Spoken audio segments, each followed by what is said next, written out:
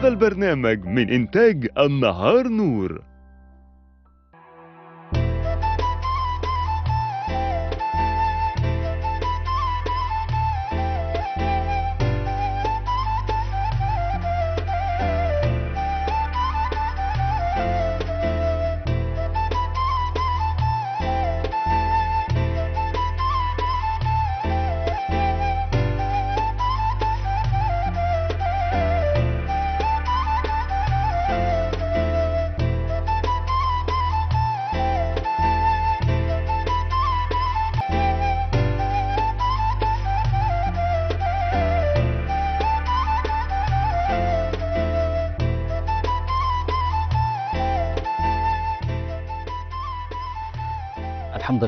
العالمين والصلاة والسلام على سيدنا محمد والنبيين والمرسلين. أعزائي المشاهدين السلام عليكم ورحمة الله وبركاته.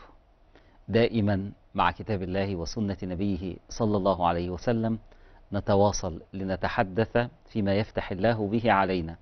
عسى الله أن ينفعنا به في الدنيا وأن ينفعنا به في الآخرة بإذن الله تبارك وتعالى. بدأنا أعزائي المشاهدين حديثنا عن آه، الصلاة بخطاب يسير ميسور ومشينا مع الصلاة من أول ما شفنا آه، فضلها ومكانتها وقيمتها. وده اللي خلانا إحنا اللي نجري علشان نصلي قبل ربنا سبحانه وتعالى ما يدعونا علشان نصلي. آه ليه بنعمل كده وليه عملنا كده؟ وكيف وصلنا إلى هذا؟ وصلنا إلى هذا لما أدركناه من قيمة الصلاة ومن فضلها. ومن بهاء صاحبها ومن مكانته. لما شفنا الكلام ده لقينا إن الصلاة حقيقة بع- بعيدا عن الشياطين وبعيدا عن معتركات الحياة لقينا الموضوع في منتهى البساطة سواء في آه، الطهارة المتعلقة بيها وقد إيه ربنا سبحانه وتعالى وسع وخفف علينا قد إيه في الصلاة نفسها من الكلمات ومن آه، الحركات وفوق ده كله إن ربنا سبحانه وتعالى لا يريد أن يحرم أحدا من الصلاة في كل الأحوال إلا نادرا جدا. طيب علشان كده شفنا إن المريض برضه هيصلي. ده مش بي مش ربنا بيشق عليه. اللي ما بيفهمش هيقول كده. إيه ده؟ معقولة؟ حتى وهو عيان يصلي؟ لا ده حتى وهو عيان محتاج الصلاة. فربنا سبحانه وتعالى خفف عنا في كل الأحوال علشان ما حدش يحرم نفسه من الصلاة أبدا. برضو ليه بنفكر ونكرر بعض العبارات علشان هذه الصلاة. إذا صلحت صلحت سائر أعمالنا. وإذا فسدت فسدت سائر أعمالنا. ومدام الصلاة متعلق بها صلاح الأعمال أو فسادها فيقينا هذه الصلاة يتعلق بها صلاح الدنيا وصلاح الآخرة. صلاح الدنيا علشان هيجي لنا ربنا سبحانه وتعالى لما يقول لنا إن الصلاة تنهى عن الفحشاء والمنكر يبقى الصلاة الوسيلة إن إحنا نتخلص من كل المنكرات اللي إحنا بنعملها في الدنيا من كل منكرات الدنيا ومن كل الفحشاء. المنكرات اللي هي ذنوب ال- آه، الأبدان والفواحش اللي هي ذنوب الأخلاق. ده وده هنتخلص منه يقينا. عارفين ده ممكن يكون إمتى؟ إذا صلحت صلاتنا وصدقت نيتنا مع الله سبحانه وتعالى وعرفنا قيمة هذه الصلاة ولم نكذب في أدائها ولم نكذب في توجهنا لها. طيب لما كان كده أعزائي المشاهدين وشفنا إن ربنا سبحانه وتعالى قد إيه بيخفف عنا. تعالوا النهارده برضو نتكلم على شيء من التخفيف حاجات يمكن آه، إحنا مش بنتعرض ليها كتير بس علشان أوري حضراتكم قد إيه ربنا سبحانه وتعالى عمل لنا حاجتين مهمين جدا. ما يحرمناش من الصلاة في كل الأحوال ويخفف عنا في كل الأحوال. فلا تكون الصلاة إلا قرة عيوننا كما هي كانت قرة عين النبي صلى الله عليه وسلم. تعالوا نشوف كده النهاردة عندنا صلاتين لما هنفكر فيهم ونتدارسهم هنعرف قد إيه ربنا سبحانه وتعالى حقق لنا هاتين الخصلتين أن نصلي فلا نترك الصلاة أبدا وألا تكون الصلاة عائقا لنا من أي شيء وألا تدفعنا إلى أي مكروه. والثلاث حاجات دول اللي الناس الشيطان بيضحك عليهم ويخليهم يخليهم ما يصلوش أو يأخروا صلاتهم علشان كده. خايف لحسن يتأخر خايف لحسن يتعطل خايف لحسن وقته يضيع. كل الكلام ده مش موجود ملوش وجود خالص. بس إذا إحنا قربنا من ربنا الشيطان بيبعد عنا. إذا كان العكس فبيبقى العكس والعياذ بالله تعالى. أول صلاة هنتكلم عنها آه النهاردة هي الصلاة في حالة المطر وفي حالة الحر. يقول الله إيه ده؟ لما الدنيا تكون حر ولما الدنيا تكون مطر في صلاة مخصوصة؟ آه ما هيش صلاة مخصوصة بس شوفوا إزاي الإسلام وإزاي الرسول صلى الله عليه وسلم نظر لكل أحوالنا فجعل لنا تخفيفا من كل شيء يمكن أن يسبب لنا عسرة أو يسبب لنا مكروه. طب إيه بقى صلاة الخوف وإيه صلاة المطر وإيه صلاة الحر؟ تخيلوا أن الرسول صلى الله عليه وسلم لما كانت الدنيا بتبقى حر قوي يجي صلاة الظهر صلاة الظهر بتيجي ساعة الاستواء. ساعة الاستواء دي يعني الشمس بتبقى عمودية على كل الأرض بقدر ميلها على حسب موقع كل بلد. يعني أكتر وقت بيبقى حر في اليوم ساعة صلاة الظهر ساعة ما بتتعامد الشمس على خط الاستواء وبتبقى أقرب ما تكون لأي نقطة على وجه على وجه الأرض حسب مكانها. طيب في الوقت ده بتبقى الدنيا حر جدا واحد. اتنين ما بيبقاش فيه ظل وخاصة في الصحراء. ما فيش شجر ما فيش ظلال ما فيش الكلام ده. تخيلوا إن الرسول صلى الله عليه وسلم يقول لنا إيه؟ يقول لنا أبردوا بالصلاة. يعني إيه أبردوا بالصلاة؟ يعني لما تيجي صلاة الظهر استنوا شوية اللي هينادي للصلاة في المسجد يأخر الأذان شوية لحد لما الجدار بتاع الجدران بتوع المباني يبقى لهم ظل يعني الشمس تميل شوية يقوم الناس اللي هتروح للمساجد تلاقي حتة ظل تمشي فيها علشان ما يحروش وهم رايحين للصلاة. يا سلام يا رسول الله. إيه ده؟ إيه العظمة دي كلها؟ إيه الرحمة بتاعت الرسول صلى الله عليه وسلم؟ ما هذا الذي يقدمه هذا الدين لأتباعه؟ إيه ده؟ مش عايز يعطلهم ابدا مش عايز يرهقهم ولا عايز يشق عليهم. لما الدنيا تكون حر اللي رايح المسجد ربنا يقول للمؤذن استنى شوية أخر الصلاة لحد لما يكون فيه ظل الناس يمشوا فيه علشان ما يحروش وهم رايحين رايحين للصلاة. هذه هي الصلاة. هذا هو عماد الدين. هي دي الصلاة اللي هي كبيرة إلا على الخاشعين. طب ده بالنسبة للإيه ده بالنسبة للصلاة ساعة الحر للي هيروح يصلي في في المساجد. ساعة المطر بقى العكس. الدنيا مطر. فتخيلوا الرسول صلى الله عليه وسلم لما كانت الدنيا بتكون مطر في الشتاء والناس ينزلوا من بيوتهم علشان يروحوا يصلوا في المسجد. يوم الرسول صلى الله عليه وسلم يعمل إيه؟ يقول لهم أيوه اللي جاي يصلي المغرب يجمع صلاة العشاء مع المغرب علشان المطر. إيه ده؟ معقولة؟ آه الناس اللي تروح تصلي المغرب في وقت مطر ممكن الإمام يقيم صلاة العشاء بعد المغرب على طول ويبقى كده جمع تقديم لصلاة العشاء والناس تصلي المغرب والعشاء ياخدوا الثوابين ويروحوا بيوتهم وخلاص بقى عشان ما ينزلوش تاني ساعة صلاة العشاء والدنيا مطر والأرض موحلة فكده يبقى في مشقة عليهم إيه ده؟ إيه ده؟ هذه عظمة الإسلام في تيسيره على أتباعه في أداء كل العبادات كل العبادات وعلماء الأصول بيقولوا إيه؟ حيثما تكون المشقة لا يكون الشرع. لما يكون في مشقة في أي حاجة يبقى الشرع مش موجود لأن الشرع دائما مبني على اليسر والتيسير والتخفيف. والرسول صلى الله عليه وسلم ما سئل عن شيء عن شيئين إلا اختار أيسرهما ما لم يكن معصية أو ما لم يكن فيه مخالفة. شوفوا قد إيه ربنا سبحانه وتعالى حريص على إن محدش فينا ما يصليش. ومفيش حد يصلي يلاقي مشقة في صلاته. ده الجمال بتاع الشريعة كلها كل شريعة الإسلام كده وده الجمال بتاع الصلاة إن أنت لما تصلي بإذن الله تعالى مش هتلاقي أي مشقة. كل ده أنا بأكد على الناس اللي بي- بيضيعوا صلاتهم بيضيعوا عليهم ثواب كبير جدا وفضل كبير جدا ونعمة كبيرة من ربنا سبحانه وتعالى وبيقفلوا على نفسهم باب من أبواب الجنة هو من أعظم أبوابها. وأيسر الطرق للحساب اليسير هو المحافظة على الصلوات الخمس. لأن دي أول حاجة بنتحاسب عليها يوم القيامة. أول حاجة هتتحط في الميزان.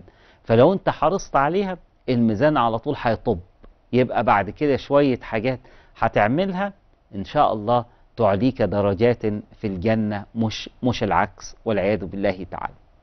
طيب ادي ديت صلاة الخوف صلاة المطر وصلاة الحر زي ما شفنا قد إيه ربنا سبحانه وتعالى ميسر فيها. يبقى كده المريض هيصلي والمسافر هيصلي والمريض له تخفيف والمسافر له تخفيف. في الحر هنصلي وهنروح المساجد والشمس مش هت مش هتضايقنا. عشان هنأخر الصلاة لحد ما الجدر بتاعة البيوت يبقى لها ظل نقدر نقدر نمشي فيه. طبعا كل الحاجات ديت إذا كان هناك ما آه، يستغنى به عنها خلاص مفيش آه، مفيش مشكلة خالص. بس أنا حبيت أوري حضراتكم قد إيه الإسلام والرسول صلى الله عليه وسلم كان معنا في كل شيء وفي كل حال من الأحوال. نيجي بقى لصلاة تانية. لما نكون مسافرين إحنا قلنا إن إحنا بنقصر الصلاة بنقصر ونجمع كمان. طب لو كنا بقى في حرب ال ال ال الجنود والناس المشاركين في الحروب لما هيخرجوا علشان يحاربوا في الغالب الأعم بيبقوا على سفر. هيمشوا مسافة طويلة من معسكراتهم لحد الحدود لحد آه، أيا ما يكن آه، الوضع. ففي الغالب الأعم بيكونوا في سفر. يبقى كده عايزين يعملوا إيه؟ عايزين يقصروا الصلاة. ينفع؟ آه طبعا ينفع. وكمان عاوزين إيه؟ عاوزين يجمعوا الصلاة ينفع؟ آه طبعا ينفع. طب دلوقتي بقى قاعدين في المعركة وقاعدين في الحرب والعدو قاعد في وشهم وهم واقفين كده والمراقبة والكاميرات والدنيا بيشوفوا الناس بيتحركوا إزاي وبيعملوا إيه. بالله عليكم لو إن المسلمين جم بقى في وقت الله أكبر الله أكبر حي على الصلاة حي على الفلاح وقاموا علشان يصلوا. وطبعا المسلم لما بيدخل في صلاته بيعمل كده بيودع الدنيا كلها. لا يهمه حرب ولا يهمه مال ولا يهمه ده ولا يهمه ده خلاص. هو نسي الدنيا بما إيه؟ نسي الدنيا بما فيها. معنى كده إيه بقى؟ معنى كده إن الأعداء هيلاقوا الناس دول بهذه الصورة وبعد شوية كمان هيسجدوا مش شايفين إيه اللي هيحصل وبعد شوية هيبقوا قاعدين مواجهين للقبلة مش عارفين اللي في ظهرهم إيه. فلما يجي قائد مكار شوية هيستغل الوقت ده والحال ده علشان يهجم على المسلمين وينتصر عليهم. وبالفعل الكلام ده حصل. مش حصل ال ال الموقف ده إن حد من الأعداء آه، هجم على المسلمين بس الفكرة كانت قائمة. سيدنا خالد بن الوليد رضي الله عنه وأرضاه قبل ما يسلم كان في مواجهة مع النبي صلى الله عليه وسلم والمسلمين. كان في غزوة من الغزوات وسيدنا خالد ما كانش أسلم فهو اللي كان القائد للإيه؟ القائد لجيوش الأعداء للكفار. فخالد ده آه، قائد آه، عظيم وفي لغة الحرب مكار يعني حاجة آه، سيف الله المسلول. خالد رضي الله عنه وأرضاه وقف كده في الحرب فلقى المسلمين صلوا وهم واقفين يصلوا لقاهم اتوجهوا ناحية القبلة وبعد شوية ركعوا وسجدوا. خالد بص كده قال الله ما دام ده بيحصل أنا هنتهز هذه الفرصة فأعلموني ساعة صلاتهم. قال للناس المساعدين بتوعه راقبوهم بقى وشوفوا إمتى هيصلوا إمتى هيصلوا تاني. هتعمل إيه يا خالد؟ آه هيهجم على المسلمين ساعة ما هم بيصلوا. أدي التفكير بتاع القائد المكار لما كان لما كان كافر. طب وبعدين بقى إيه اللي حصل؟ ما بين خالد لما قال الكلام ده تقريبا كان في صلاة الظهر. ولما جت صلاة العصر ما بين الصلاتين نزلت آية في القرآن الكريم اللي هقرأها على حضراتكم واللي إحنا هنقف عندها. خالد بن الوليد وهو واقف يراقب المسلمين قالوا له الحق بيكبروا هيصلوا. لما جم يصلوا بقى في الوقت التاني شوف ما بين ده وما بين ده سبحان الله العظيم على ربنا يقول لنا أنه دائما معكم كما لو كان يسمع ما تقولون وكما لو كان يراقب ما تفعلون. فخليه معاك في كل حالة هتلاقي ليك علاج لكل حاجة. ما بين الظهر وما بين العصر خالد بن الوليد وقف يبص كده لقى المسلمين واقفين يصلوا الوضع اختلف. الوضع اختلف ليه؟ القبلة اختلفت. بدل ما المسلمين كانوا يبصوا كده بقوا يبصوا ناحية الجيش ناحية خالد. قال الله إيه اللي حصل ده؟ لسه كمان. لقى المسلمين اتقسموا نصين. نص واقف يصلي والنص التاني شايل سلاحه وواقف. الله دول خلصوا صلاة سلموا وراحوا واقفين. التانيين اتقدموا ووقفوا يصلوا واللي وراهم اللي صلوا قبل كده شالوا سلاحهم وفضلوا واقفين بيراقبوا خالد. لو اتحركت الدنيا هتتقلب عليك. إيه ده؟ إيه اللي حصل ده؟ تخيلوا إن هذه الواقعة كما يقال كانت سبب في إسلام خالد بن الوليد. إزاي ده حصل؟ إزاي هو كان بيفكر في حاجة وما بين الوقت للتاني اتغير الموقف خالص. ليه؟ لأن هذا قرآن ينزل من حكيم عليم. كانت هذه الواقعة سبب في إسلام سيدنا خالد رضي الله عنه وأرضاه. طب وهذه الواقعة بقى وتلك الآية حطت لنا إيه؟ حطت للمسلمين صلاة الخوف. إيه بقى صلاة الخوف؟ تعالوا أقرأ لحضراتكم آه الآية عشان نشوفها. وإذا كنت فيهم فأقمت لهم الصلاة فلتقم طائفة منهم معك وليأخذوا أسلحتهم. فإذا سجدوا فليكونوا من ورائكم ولتأت طائفة أخرى لم يصلوا فليصلوا معك وليأخذوا حذرهم وأسلحتهم. ود الذين كفروا. الكلام عن مين؟ عن خالد. ود الذين كفروا لو تغفلون عن أسلحتكم وأمتعتكم فيميلون عليكم ميلة واحدة. يا سلام على الجمال. ده لسه كمان جاء بعد شوية حاجة تانية بس يعني مش هنتعرض ليها قوي. آه وليأخذوا حذرهم وأسلحتهم. ود الذين كفروا لو تغفلون عن أسلحتكم وأمتعتكم فيميلون عليكم ميلة واحدة. ولو كان بقى في مشكلة في تخفيف تاني. ولا جناح عليكم إن كان بكم أذى من مطر أو كنتم مرضى أن تضعوا أسلحتكم وخذوا حذركم إن الله أعد للكافرين عذابا مهينا. يا سلام على الجمال يا سلام على عظمة القرآن. تعالوا أعزائي المشاهدين نخرج فاصل ثم نعاود حديثنا عن هذه الآية وعن أحكام الصلاة أثناء الحرب والخوف.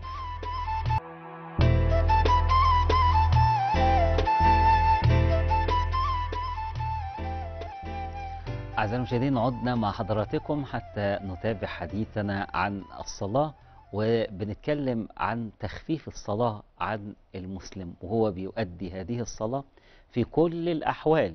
علشان حاجتين كررتهم يمكن أكتر من مرة علشان ما ننساهمش خالص. حتى يفتح الله الباب لكل مسلم أن يصلي في كل وقت. مفيش حاجة تعطله عن عن صلاته.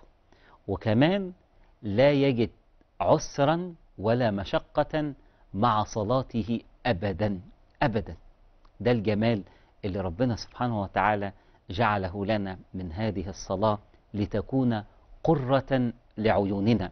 ما تكونش حاجة تقيلة وحاجة ثقيلة ويلا عشان نصلي والصلاة ديت. أبدا. متى تكون الصلاة؟ متى تقام الصلاة؟ ده كان رغبة المسلمين دائما ورغبة المسلمين في كل وقت متى تحين الصلاة حتى نصلي.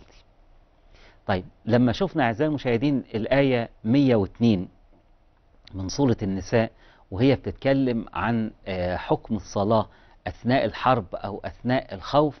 تعالوا نشوف قد إيه ربنا سبحانه وتعالى يسر على المسلمين علشان الصورة تتضح أكثر وأكثر وأكثر. دلوقتي المسلمين مسافرين. يبقى هيصلوا إيه؟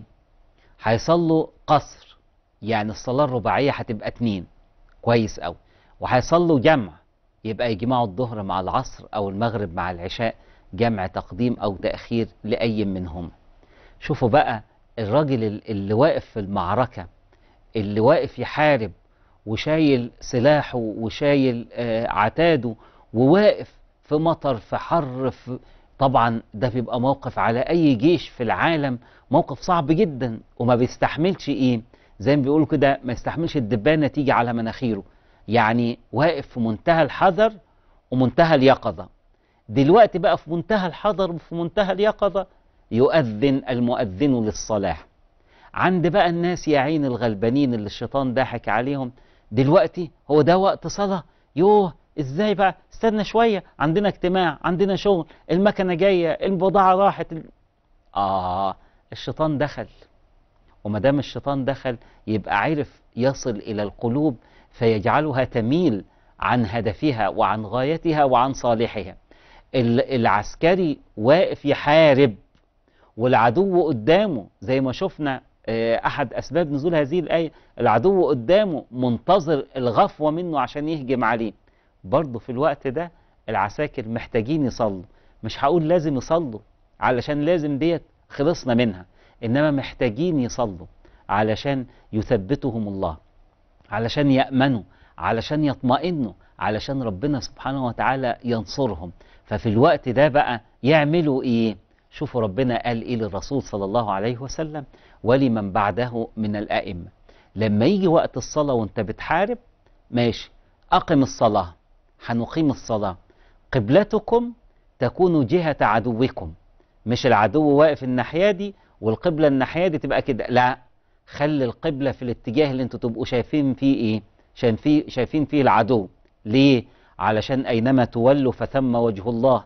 الذي قال إلى الكعبة هو الذي قال الآن هكذا. طيب أدي القبلة. وبعدين بقى شوفوا بقى الجمال. ربنا قال للرسول صلى الله عليه وسلم أقم الصلاة واقسم الجيش نصين. نص يقف شايل سلاحه وعينه على العدو. لو عمل أي حاجة يتحركوا بسرعة جدا. والنص التاني هيقف علشان يصلي. طب هيصلوا إزاي؟ دول مسافرين هيصلوا ركعتين. شوفوا الركعتين دول بنصليهم إزاي؟ الإمام يبدأ بإقامة الصلاة ويصلي ركعة واحدة وبعدين لما يصلي ركعة يروح قاعد شوية. يروحوا الناس اللي بيصلوا وراه يقعدوا ويقولوا التشهد ويسلموا وينصرفوا. إيه ده؟ صلوا كام ركعة؟ صلوا ركعة واحدة بس. وقاموا وشالوا سلاحهم. وبعد ما تأهبوا الناس الدفعة التانية اللي هي كانت مس- مستلمة المراقبة تبدأ تصلي. يقوم الرسول صلى الله عليه وسلم الله أكبر يقوموا هم يكبروا علشان يدخلوا مع الرسول صلى الله عليه وسلم في الصلاة. هيصلوا كام؟ هيصلوا ركعة واحدة بس. الرسول صلى الله عليه وسلم هيصلي الركعة التانية ولما يصلي الركعة التانية هيقعد يقول التشهد هيسلم وهم هيسلموا معاه. يبقى كده الرسول أو الإمام صلى ركعتين في الصلاة الرباعية لأنهم على سفر. والجيش كل فصيلة صلت ركعة واحدة واتقسموا نصين. شوفوا الجمال علشان الناس تشوف وتعرف قد إيه ربنا سبحانه وتعالى بييسر هذه الصلاة.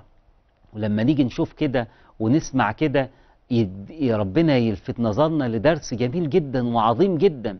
لو إحنا بصينا لهذه الصلاة عارفين هنلاقي إيه؟ هنلاقي إن كل دفعة من الجيش صلت ركعة. معنى كده إيه؟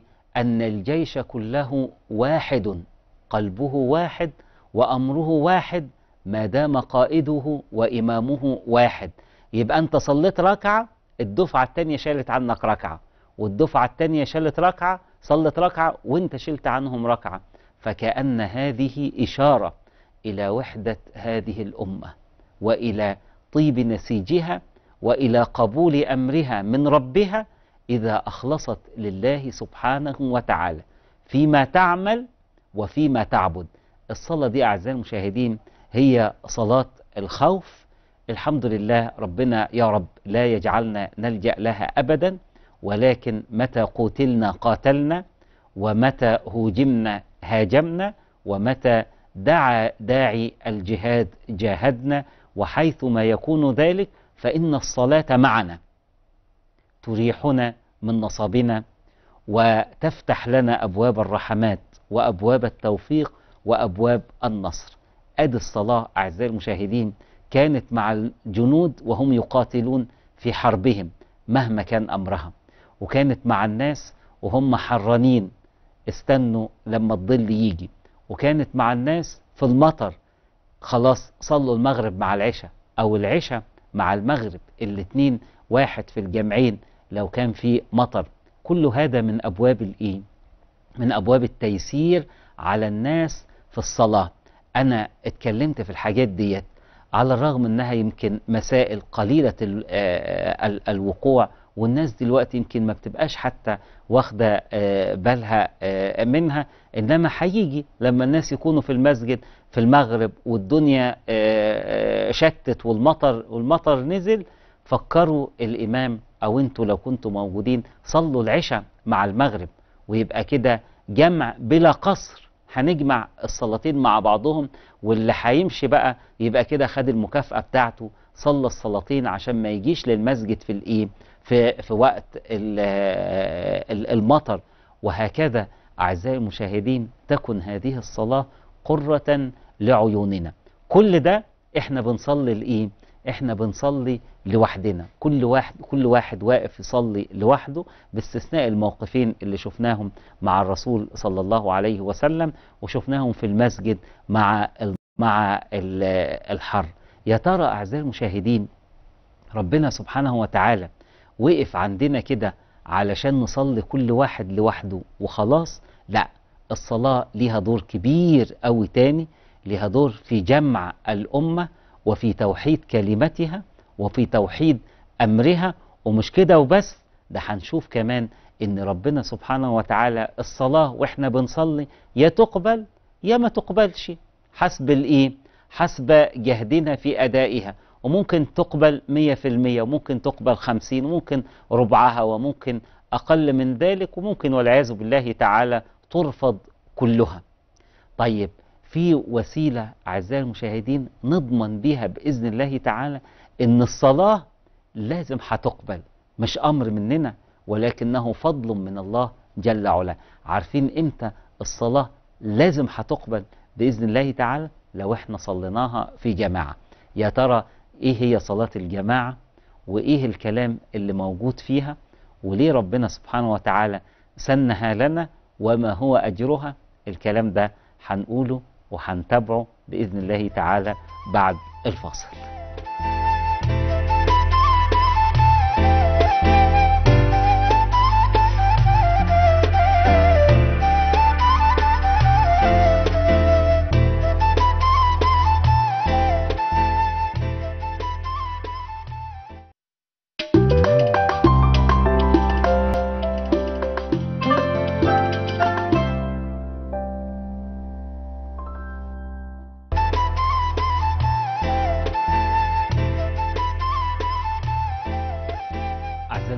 عدنا مع حضراتكم حتى نتابع حديثنا عن عماد الدين حديثنا عن الصلاة حديثنا عن ركن الإسلام الركين حديثنا عن قرة عين رسول الله وعن قرة عين كل مسلم وكل مؤمن الحديث عن الصلاة.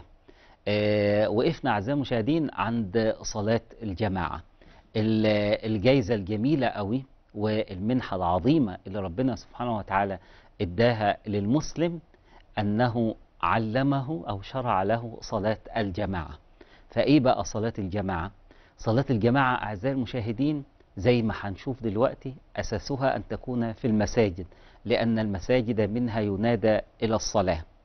فإن لم تكن في المساجد فكل بقعة على وجه الأرض يصلى فيها فهي مسجد. يبقى لو أنت عرفت فضل صلاة الجماعة زي ما هنقول هتسارع إلى المساجد عشان تصليها. لو تعذر أو كان الأمر يعني صعب بالنسبة لك أن أنت تروح المسجد فحاول ألا تتخلف عن صلاة في الجماعة. فين بقى تكون؟ في أي مكان. يبقى الجماعة أفضلها وأعظمها زي ما هنشوف ما كان في المسجد. الدرجة الثانية إن أنت تصلي جماعة في أي مكان جعلت لي الأرض مسجدا وطهورا. في الشغل ممكن تصلي بقى المكان اللي بتصلي فيه ده مسجد صلي في جماعة. في آه، المدرسة في الجامعة في الشارع في أي حتة يمكن أن يجتمع الناس فيصلون يحولوا هذه الأرض التي هم عليها إلى مسجد. ويصلون وينصرفون بأجر عظيم زي الرسول صلى الله عليه وسلم ما هيقول لنا. طب يا ترى قبل ما نشوف صلاة الجماعة بتكون إزاي؟ إيه أهميتها وإيه قيمتها؟ قيمة هذه الصلاة أعزائي المشاهدين في حاجتين. الحاجة الأولانية يقينية الرسول صلى الله عليه وسلم قال لنا كده أن صلاة المرء في الجماعة تفوق صلاته لوحده بخمس وعشرين درجة. إيه ده؟ يعني أنت لما تصلي لوحدك ليك درجة. الدرجة دي قد إيه؟ يعلم الله قدرها. ليك ثواب. لما تصلي في جماعة ليك 25 درجة. ليك 25 ثواب. وفي حديث تاني بيوضح ده يقول لنا أن صلاة المرء في جماعة تعدل 25 صلاة في غيرها. يعني لو صليت الظهر في جماعة يبقى أحسن من لو إن أنت صليت 25 ظهر كل واحد لوحده. إيه ده كله؟ ده الفضل الكبير قوي لصلاة الجماعة. طيب أين تكون صلاة الجماعة؟ زي ما قلت لحضراتكم هي في المسجد. إيه المسجد ده؟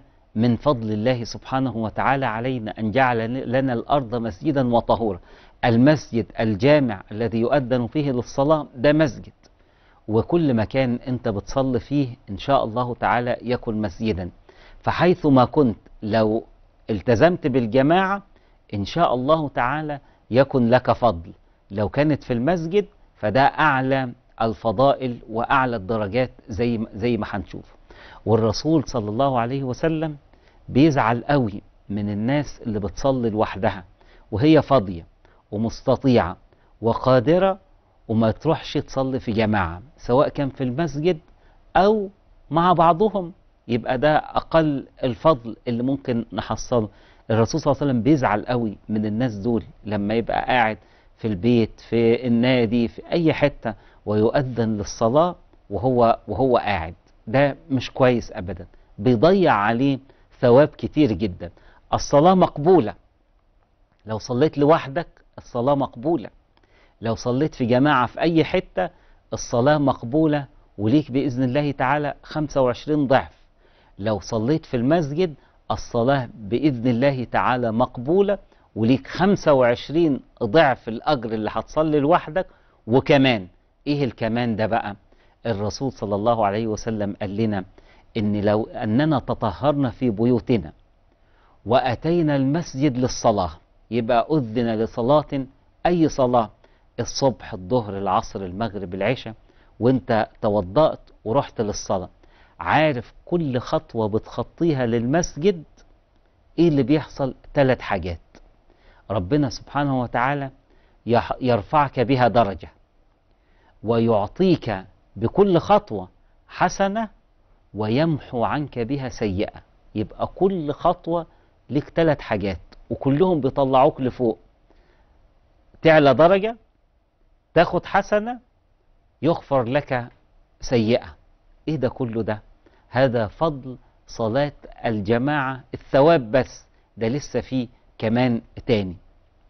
طيب تعالوا نشوف بقى صلاة الجماعة شكلها إيه وأدائها إزاي؟ وبعدين نشوف بقية الفضل اللي ربنا سبحانه وتعالى هيديهولنا على صلاتنا في جماعة. لما بنصلي في جماعة أعزائي المشاهدين الحمد لله ومن فضل الله علينا الإمام وواحد معه دول بيعتبروا جماعة. يعني الاتنين بينطبق عليهم حكم حكم الجماعة. لأي عدد يكن بعد ذلك مفيش مفيش مشكلة خالص. طب لما الناس هتصلي جماعة بيكون في إمام ويكون في مأموم واحد أو مأمومين.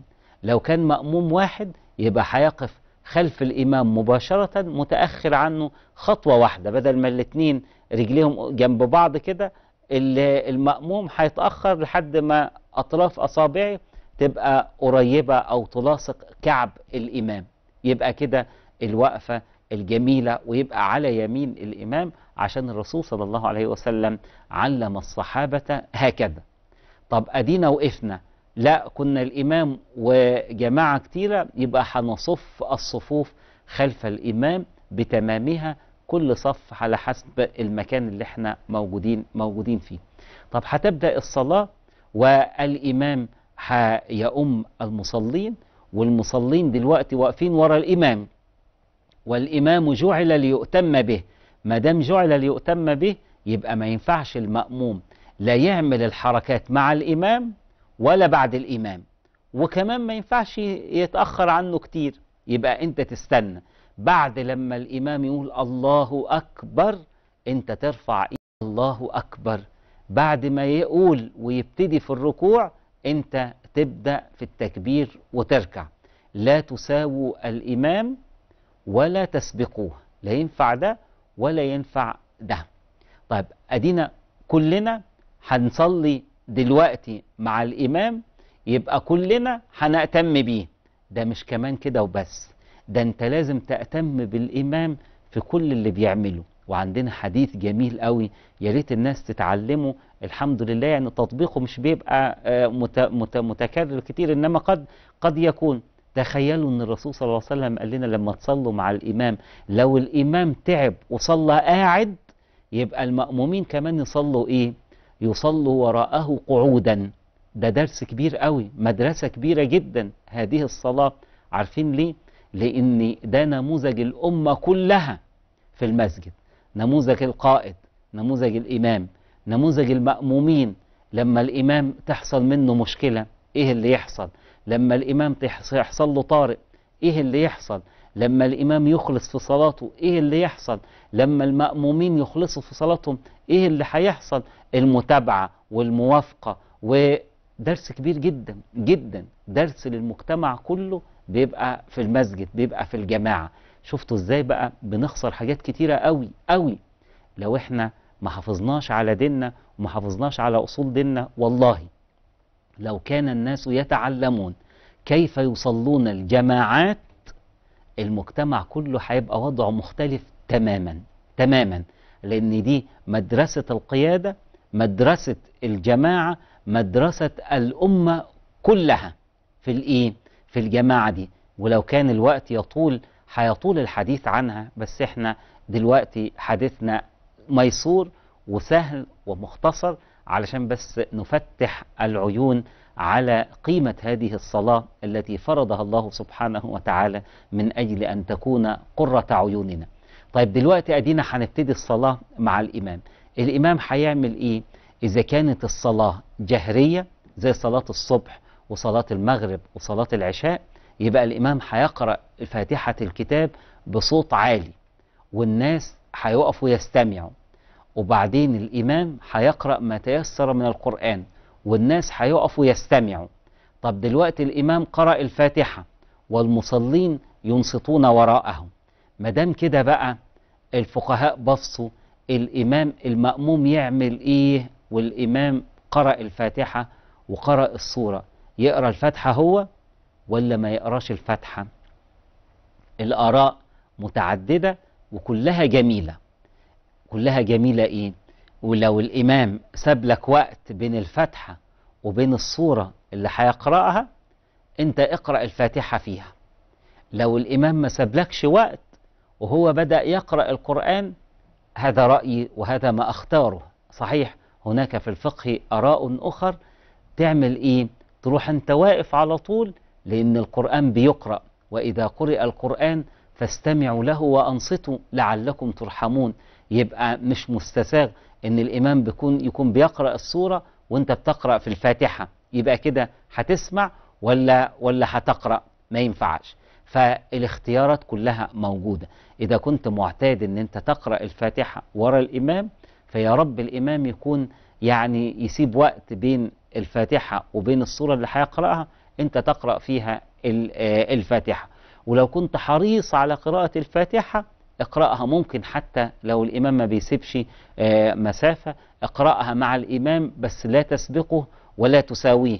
هو يقول الحمد لله رب العالمين أنت تسمعها وبعدين تقول الحمد لله رب العالمين. هو يقول الرحمن الرحيم أنت تسمعها وتقول الرحمن الرحيم. هذا لمن كان مذهبه أو رأيه أو لمن تعلم أن الفاتحة لابد أن يقرأها الإمام والمأموم حتى في الصلوات الجهرية. إن كان الاختيار لا أنا حينما أصلي لا أقرأ فاتحة الكتاب ولا أقرأ بأي صورة ما دامت الصلاة جهرية. أنا أستمع لما يقرأ ولما يتلى. يبقى كده استمعت القرآن والقارئ كالسامع. يبقى كما لو إنك قرأت تماما وفتحت قلبي فتنزلت الرحمات لأن الذي يستمع إلى القرآن يرحمه الله سبحانه وتعالى علشان ربنا قال لنا كده إذا قرئ القرآن فاستمعوا له وأنصتوا لعلكم ترحمون. يبقى كده الإمام قرأ الفاتحة وقرأ السورة وإحنا كان لنا الاختيار زي ما قلت لحضراتكم إما أن تقرأ وإما ألا تقرأ ولو كان الاختيار فألا تقرأ ده آه، جميل أوي. تعالوا أعزائي المشاهدين نخرج فاصل ثم نعاود حديثنا مع صلاة الجماعة.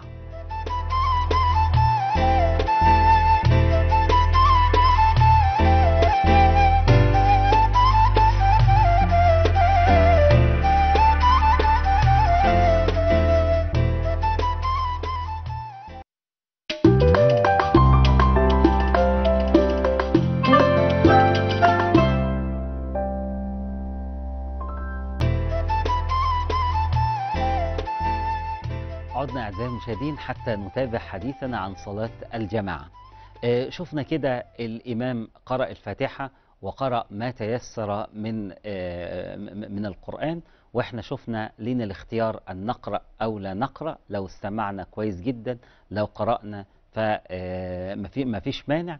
وبعدين الإمام هيتم بقى الصلاة الركوع والسجود والجلوس والسجود وهكذا لحد ما تنتهي الصلاة. في الصلاة الجهرية بيقرأ وبصوت مرتفع وفي الصلاة السرية بيقرأ آه، في السر.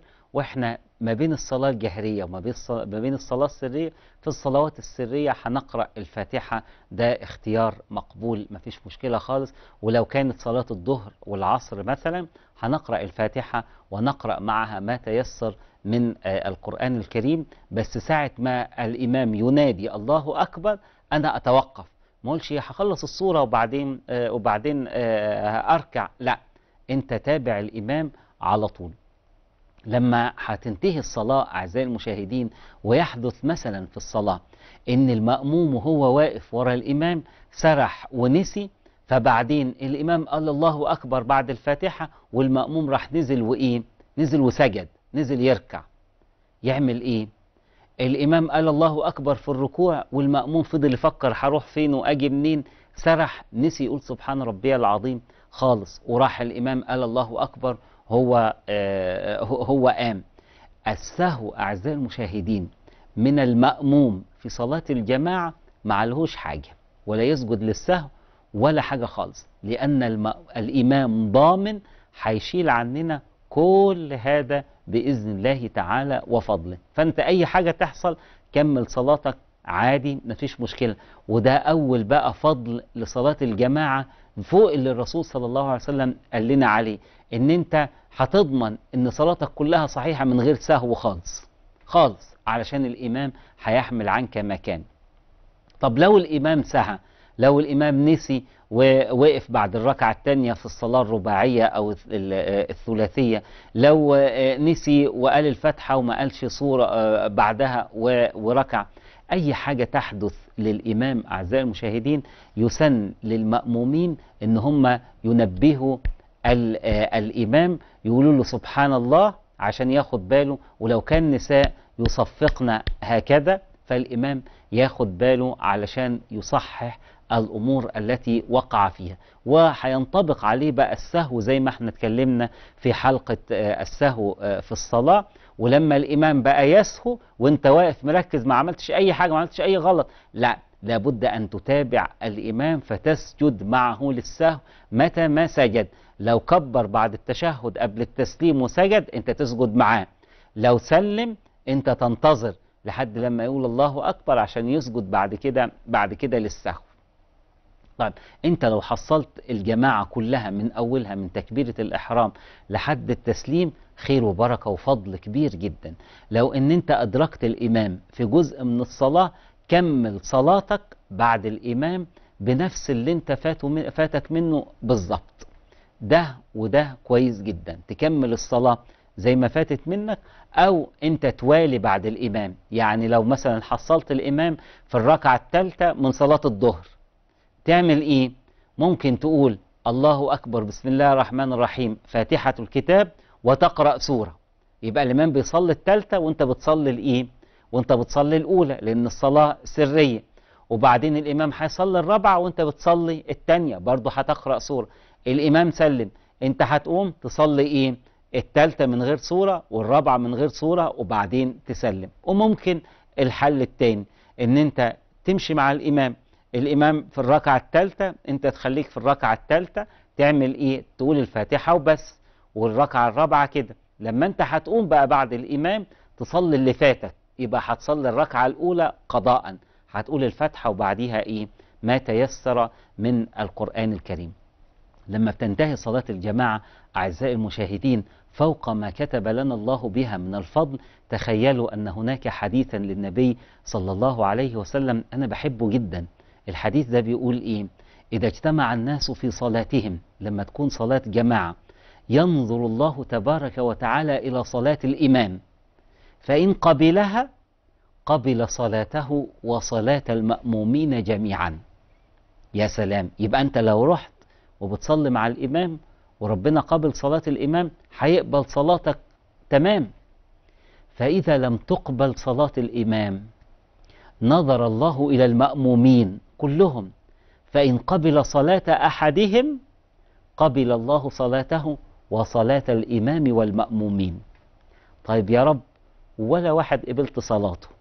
ينظر الله تبارك وتعالى إلى هذه الجماعة فيقبل منهم صلاتهم لاجتماعهم علشان نزلوا من بيوتهم وراحوا الجامع وصلوا في جماعة يبقى يقينا بإذن الله تعالى سوف يتقبل الله منهم صلاتهم أجمعين. ده فضل كبير جدا أعزائي المشاهدين لصلاة الجماعة. يا حبذا لو حافظنا عليها أو على بعضها في المساجد ولو لم يكن يا حبذا لو كانت في البيوت صلي مع أولادك صلي مع أخواتك صلي مع زوجتك في البيت في الشغل صلي مع زمايلك.